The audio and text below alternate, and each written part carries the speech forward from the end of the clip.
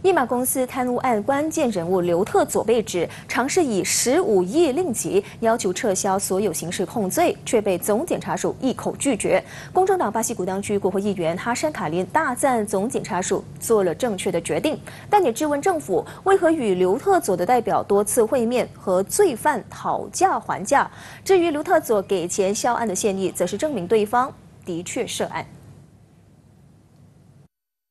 富商刘特佐被指试图以十五亿令吉和政府和解，撤销他涉及的易马公司贪污案所有控罪。公正党巴西古当区国会议员哈山卡林今天发文告，认同总检察长丹斯里伊德鲁斯哈伦拒绝这项现役的决定，因为刘特佐是国际通缉犯，我国政府不应该和一名罪犯谈判。哈山卡林质问刘特佐，是不是觉得我国司法很便宜，可以用十五亿令吉变卖？认为只要价钱合理，我国司法和总检察署就愿意串通罪犯撤销控罪。总检检察署拒绝刘特佐给钱销案这般无理的建议是非常正确的决定。哈山卡林向刘特佐喊话：如果有尊严，而且坚信自己是无辜的，就应该回国面对控罪，而不是躲在国外。如今委派美国律师，在委托前总检察长丹斯里阿班迪协助和政府谈判，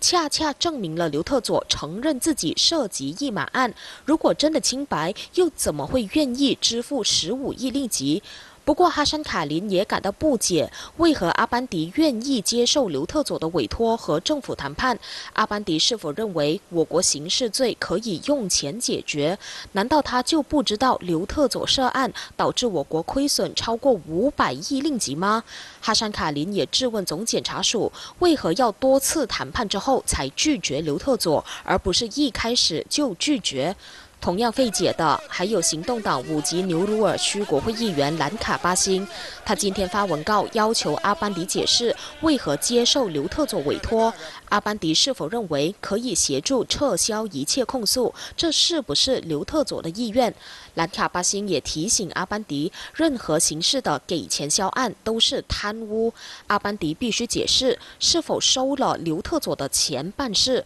而这笔钱是不是一马公司资金？双双。方又是否曾经谈论可能撤销控诉？兰卡巴辛强调，阿班迪曾经宣称前首相拿督斯里纳吉在一马公司案中无罪，如今他不应该接触刘特佐，而是应该要求对方自首。兰卡巴辛认为，阿班迪有必要解释清楚所有细节，避免一切揣测。